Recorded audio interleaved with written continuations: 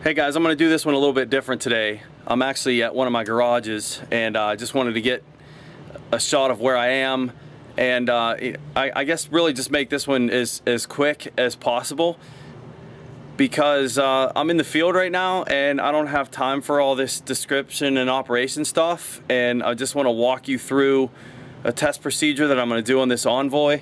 It's like 95 degrees, I'm sweating my butt off and uh, you know just want to get done quick and I uh, want to make a quick buck so uh, I'm at one of the garages I work for and I want to walk you through this GMC Envoy. It has a uh, secondary air injection system fault code. And that code is a P0410 and you see the description right there on the screen. This is a 4.2 liter engine. My first thought going into this vehicle is where is this air pump? I know it's an electric air pump and uh, I had trouble locating it. Uh, I'm looking at the exhaust manifold over here on the side and I see this canister looking thing right here. And to me at first that looked like the EGR valve. And then I looked a little bit closer at it and I can see some some uh, rubber tubes going to it. And we don't generally do that with EGR valve so that has to be my diverter. And then I looked at the connector on top and I see two wires going to this unit. So what I know about this design is all the vacuum controls are missing on this one this one's completely electronic so it has a electric air pump and an electronic solenoid, which is actually the, the diverter valve too, if you want to call it.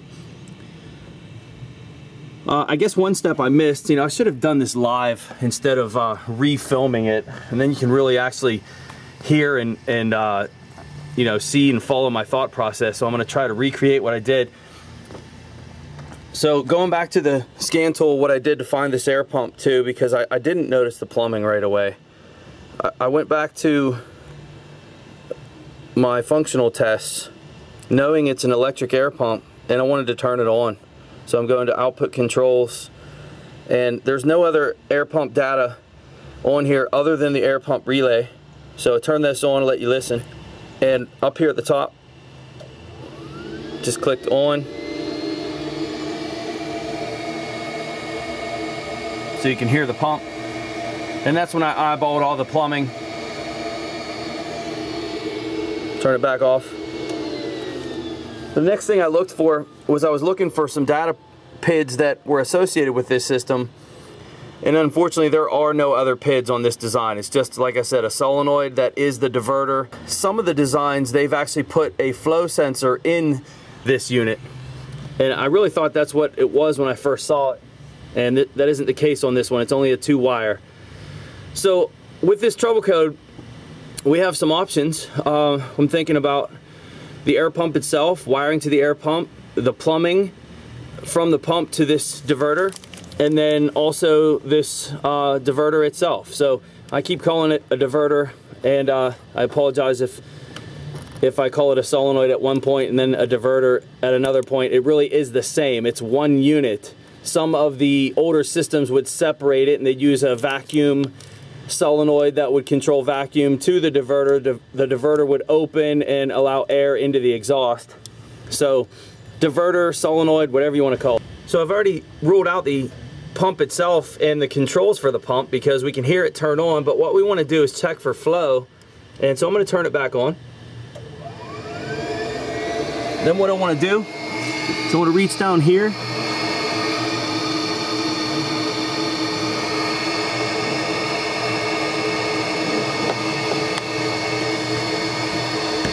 to the tube that comes to this and it's a squeeze type fitting so I'm gonna pop this tube off. Not sure I can film it and do it at the same time.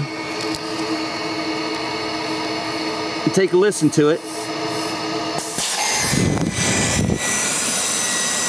I'm pretty sure that's picking up very well on the camera. It's got some real nice flow to it. I'll plug that back in let you listen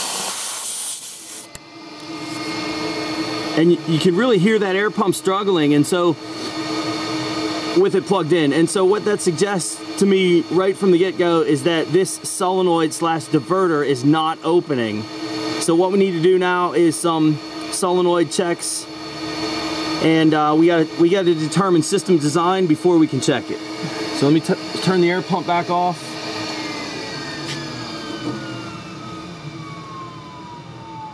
And my first thoughts going through this, I'm gonna disconnect it. And guys, really all I grabbed for my test equipment, because I'm trying to be quick here, is I just grabbed my test light and I grabbed a jumper wire and a T-pin. So let me get this stuff set up and talk about what I did. Okay, so here's my high-tech test equipment. My test light, jumper wire, little T-pin, one of my probes from my Pico kit actually. And I know I'm using an expensive scan tool here, but you know, any scan tool that offers bidirectional controls will get you as far as we are right now. If you don't have a scanner with bidirectional controls, then you know you're gonna work a little harder. You gotta find the relay, you're gonna have to energize the relay manually. Of course, with that, you're gonna need a wiring diagram, all this stuff I don't want to do. Time is money. So we're going after this connector here and we're gonna determine how this solenoid functions. I don't have a diagram again. Uh, I do have some wire colors. Typically, you know, blacks and, uh, well, at least on a GM, a black wire would be a, a ground or control and the pink black would be a power feed, but we can't go by those. We, we really have to check the circuit. All right, so what I'm gonna do, I'm gonna take my test light to ground and I have the key on right now. And I wanna check my light, of course. I'm not showing you this, but I'm touching battery positive. And it's a good thing I'm doing that because right now my test light is not lighting. Got some corrosion on this battery. Really giving me a hard time here. You know, just because you're connected to the battery doesn't mean you're actually on the battery. All right, so another thing that we don't want to do is these pins, they're really small. Look how big this test light is. We don't want to jam that test light in there. That would be really dumb. So that's what I'm using this for. It's a lot smaller.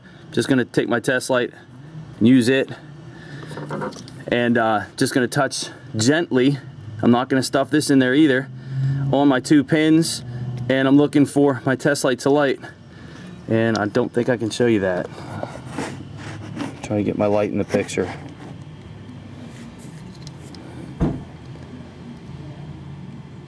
pin to the left and the pin to the right my light does not light now this is where experience comes in guys I know from from the past that these solenoids that control airflow into the exhaust system are operated off of the same circuit that the air pump is. And so what I need to do is I need to turn the air pump on and then check for power here. And I'm pretty sure one of these two is gonna light up. So let me turn the air pump back on.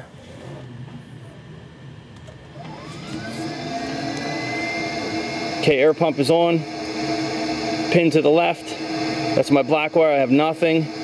Pin to the right, you see my test light lights. So what we know then, turn this off so we don't damage this pump. And the reason I say that is uh, if this diverter is stuck shut, then with running this thing with the pump running and the diverter closed, that's really putting some higher amperage on this motor and I don't want to do any damage to it. But you saw the test light lit with the, looks like pink and black. Lit when I turned the air pump on, so that's my power for the solenoid. And that means to me that this solenoid is gonna be controlled on the power side. And if that's the case, then my black wire, which is not lighting my test light right now, should be a constant ground. Now it could be computer controlled too, but I'm pretty sure it's not. And so what I'm gonna do to check that is I'm just gonna switch my test light polarity to battery positive. I'm not gonna get you a shot of that. I'm moving my test light right now to B+. plus. And of course, anytime you move your test light, test leads, scope leads, whatever you're using, you better check that light make sure it lights. Because when I did this first time, it didn't.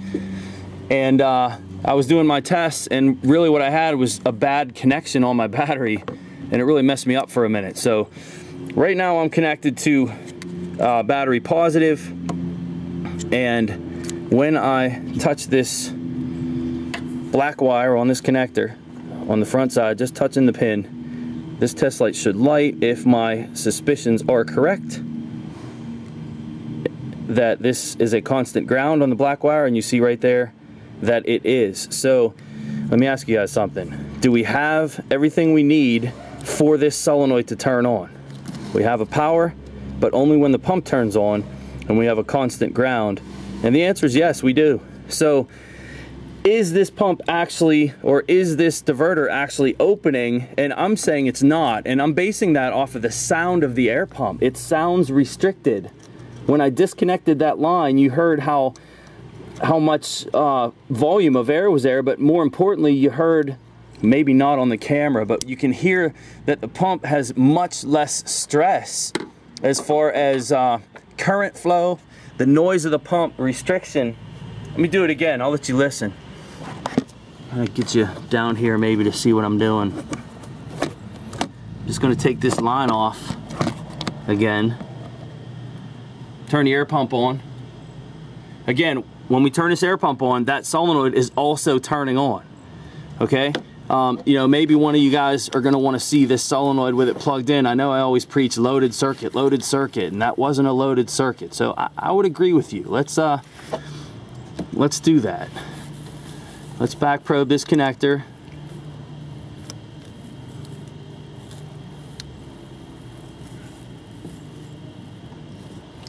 And uh, we need to switch our test light polarity. Test light's going to ground, checking my light.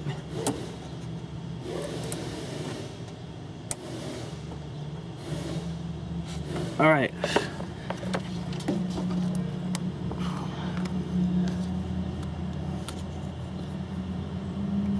So I'm resting this against my, my pin.